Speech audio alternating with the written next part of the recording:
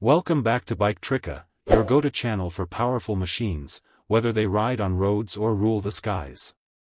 Today, we're shifting gears from two wheels to wings, with an exciting look at India's next-gen fighter jet, the 2025 HAL Tejas Mk2. The evolution of Tejas. The Tejas Mk2 is a massive leap forward from its predecessor, the Tejas Mk1, designed by HAL, Hindustan Aeronautics Limited, this medium-weight fighter, MWF, is tailored to replace aging Indian Air Force jets like the Mirage 2000 and Jaguar. It's not just an upgrade, it's a whole new beast. Performance and Power Under the hood, the Tejas Mk2 is powered by the GE F414 engine, delivering nearly 98 knots of thrust. This gives it supersonic speed, better climb rate, and enhanced dogfighting capability.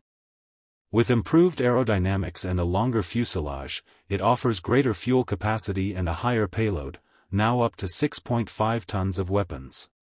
Technology and Avionics Tejas Mk2 comes equipped with cutting-edge technology, an advanced AESA radar, an integrated electronic warfare suite, and an AI-assisted cockpit. Its glass cockpit, wide-angle HUD, and fly-by-wire system place it among the best 4.5 generation fighters in the world. Weapons and strike capability. This jet isn't just fast, it's fierce. The Mk2 will be compatible with Astra air-to-air missiles, BrahMos NG, precision-guided bombs, and even future indigenous hypersonic weapons. It's designed to strike deep, fight close, and dominate multiple combat scenarios. Strategic importance.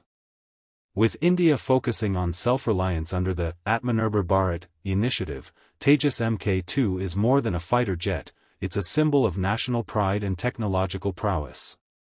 It's expected to play a critical role in securing India's airspace for the next few decades.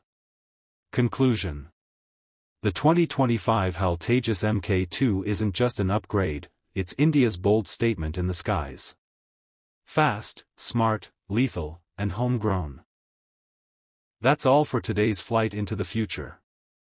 Don't forget to like, share, and subscribe to Bike Trica for more thrilling updates from the world of machines. Until next time, ride safe, fly high.